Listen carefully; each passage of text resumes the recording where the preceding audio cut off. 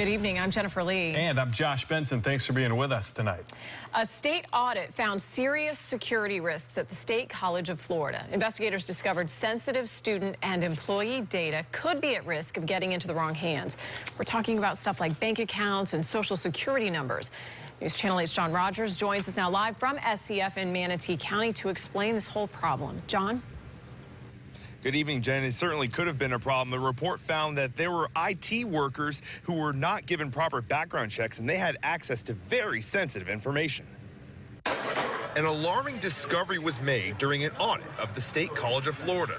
Auditors found four contracted IT workers were not given proper background checks. And these workers had access to very sensitive data, like student names and social security numbers, and even employee bank account information. Uh, it concerns me greatly. The audit concluded that if this isn't fixed, then someone with bad intentions could get a hold of this information.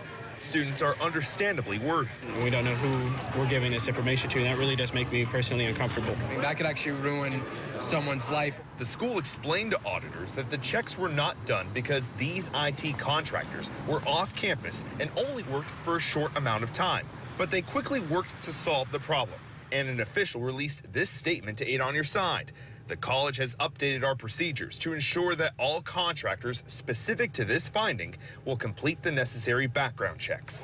Students tell us they give this data to the school with the faith that it will be handled properly.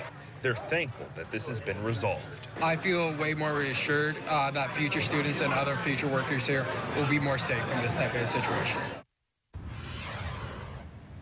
And the school did emphasize that they did provide proper background screenings for 970 employees and contractors and volunteers. And uh, now with these findings, they've improved their procedures and they'll make sure that this never happens again. Jen? All right, John Rogers live in Manatee County. Thanks, John.